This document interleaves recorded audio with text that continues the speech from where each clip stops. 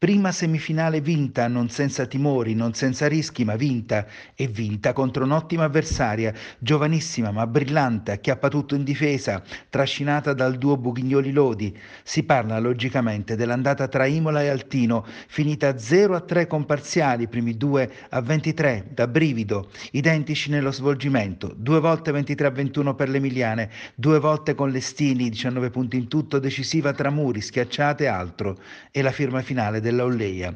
Per il resto, a parte la solita performance della Longobardi, 18 punti della bravissima Mancina, la squadra ha tenuto altissima la concentrazione, capace di reagire ai momenti difficili, alle pause che ci sono sempre, con la forza di ribaltare in modo analogo la criticità del momento e dominare l'ultima frazione, chiusa a 17 praticamente senza storia. Il tutto lascia presagire che sia un centimetro dalla finale, sebbene il press Papa orgogliosissimo delle sue ragazze, predichi umiltà per gara 2 in programma Valle Anzuca di Francavilla domenica 6 alle 18.30.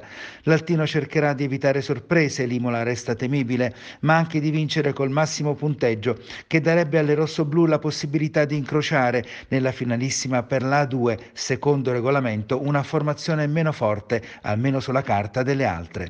Particolare non poco.